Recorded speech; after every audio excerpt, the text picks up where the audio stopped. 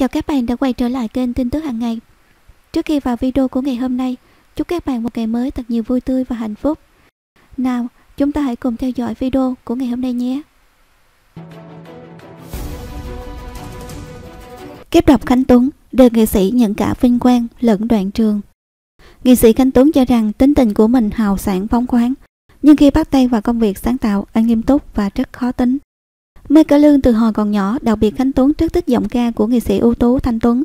Nhưng trong lòng Khánh Tuấn không bao giờ nghĩ rằng sau này lớn lên mình sẽ trở thành một nghệ sĩ.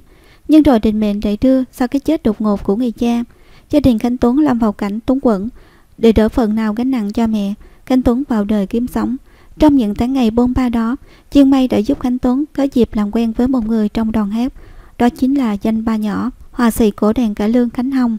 Khánh Tuấn dở mến Lanh lợi là rất mê cải lương nên anh ba nhỏ đã giới thiệu cho canh Tuấn vào đoàn làm chân gác cửa, chỉ ghế cho khán giả. Từ lối rẽ đó của đời của Khánh Tuấn bước sang một trang khác. Trong buổi ban đầu đại gian nan ấy, Khánh Tuấn cho rằng mình đã rất may mắn khi được những bậc đàn anh đàn chị hết lòng giúp đỡ và dìu dắt. Thấy Tuấn có khả năng. Nhạc sĩ Hữu Lộc, một tay guitar của đàn rất sẵn lòng dạy ca cho anh mà không lấy một đồng nào tiền công. Rồi nghệ sĩ Chí Bảo, Ngọc Đáng, Lâm Giang, hơi nhẫn nhục chỉ cho anh từng nét diễn, từng động tác vũ đạo. Và chính nghệ sĩ Chí Bảo là người đã trực tiếp giới thiệu Khanh Tuấn với bà Báu để anh được lên sân khấu học nghề. Trong một lần đoàn thiếu người đóng vai quân sĩ, Khanh Tuấn được đưa ra sân khấu, dù chỉ đi qua, đi lại, nhưng Khanh Tuấn cũng tập dược thật kỹ càng từng bước đi của mình trên sân khấu. Hai năm miệt mài với những vai quân sĩ, đến năm 1979, đoàn cải lương Khánh Hồng đổi tên thành đoàn An Giang, Khánh Hồng và mời nghệ sĩ Kim Trưởng về dẫn vở Trần Thần, tác giả Trọng Nguyễn, thì Khánh Tuấn mới được hát chỉ một vai nhỏ. Vai người áo đỏ của nghệ sĩ Hồng Tơ. thì đây không phải là lần đầu tiên Khánh Tuấn bước ra sân khấu, nhưng lại là lần đầu tiên xuất hiện trước công chúng trong một vai diễn có số phận hẳn hoi, nên anh rất run và hồi hộp. Cái cảm giác đó tưởng chừng như bóp nghẹn trái tim anh. Nhưng rồi sau đó anh đã lấy lại được bình tĩnh và diễn rất trọn vai của mình. Bắt đầu từ đó, hỡi đòn dựng vợ mới là Khánh Tuấn là có một vai nhỏ. Điều này làm cho Khánh Tuấn cảm thấy rất vui vì ít nhất anh cũng đã tạo được sự tin tưởng đối với mọi người. Sau đó anh lần lượt được giao các vai như Hứa Từ Liêm, rồi Trần Nguyên Hạng trong vở Trần Thần. Mỗi một vai diễn một vị trí khác nhau như là những nước thang đánh dấu sự trưởng thành dần dần của Khánh Tuấn. Và cũng trên sân khấu này, anh còn có những vai được khán giả yêu thích như vai đại ý tâm trong Nửa mảnh tim, Trần Quang Diệu trong Bảy mùa mai nở. Sau đoàn An Giang Khánh Hồng, Khánh Tuấn còn đi qua nhiều đoàn hát khác nhau và bắt đầu có danh ở các tỉnh miền Tây. Hành trình những chuyến lưu diễn biệt mại ấy chất chứa trong lòng Khánh Tuấn, đầy ắp những kỷ niệm khó quên. Anh nhớ nhất là lần lưu diễn ở Thốt Nốt, khi chuyển bến, thì đoàn thường di chuyển bằng ghe. Lần đó không biết thế nào mà nước lại vô ghe, tắm vào những trương đựng quần áo mà lúc đó đồ hương xa, tuồng cổ được làm bằng chất vải đặc biệt. Khi bị tắm nước vào sẽ bị trả ra hết. Chứng kiến cảnh đồ hát như vậy, bà hai người giữ đồ hội của đoàn và bà bầu đã khác đến, nổi ghe cặp bến. Những người xung quanh tưởng là có ai chết. Lúc đó khanh tuấn hãy còn chưa hiểu vì sao mọi người lại xúc động mạnh như vậy. Mãi đến sau này, anh mới cảm nhận được mỗi một bộ đồ hát hay, một món trang sức dành cho nhân vật đều có những giá trị tinh thần riêng.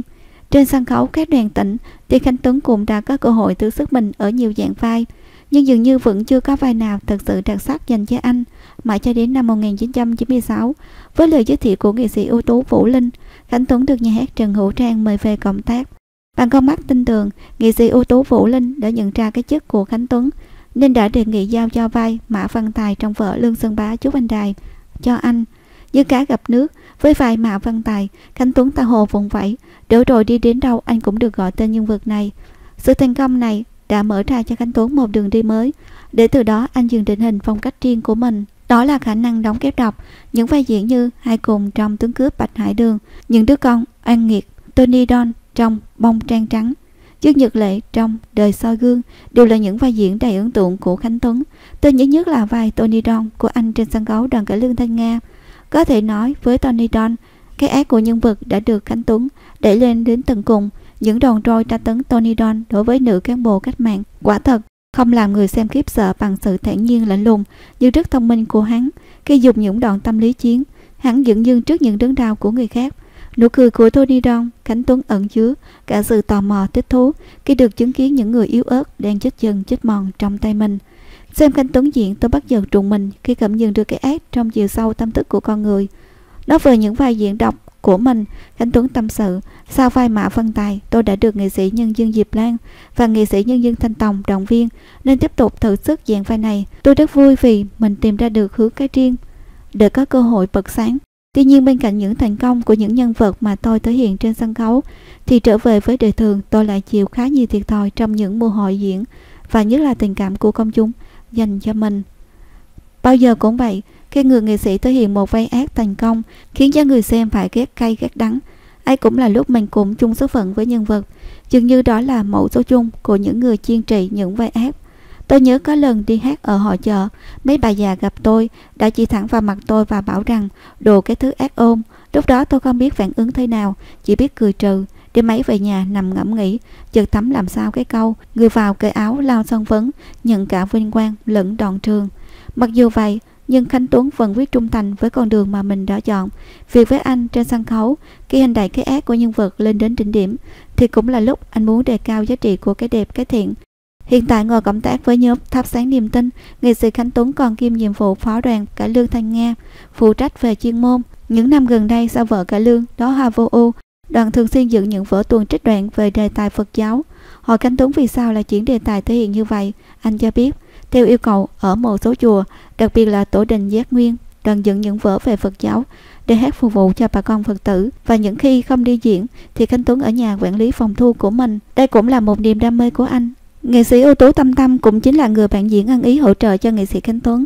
Thi tại cuộc thi tài năng diễn viên sân khấu cải lương Trần Hữu Trang năm 2020 nói tôi rất vui khi được đồng hành cùng chú Khánh Tuấn đem niềm vui đến cho bệnh nhân tâm thần bằng những bài hát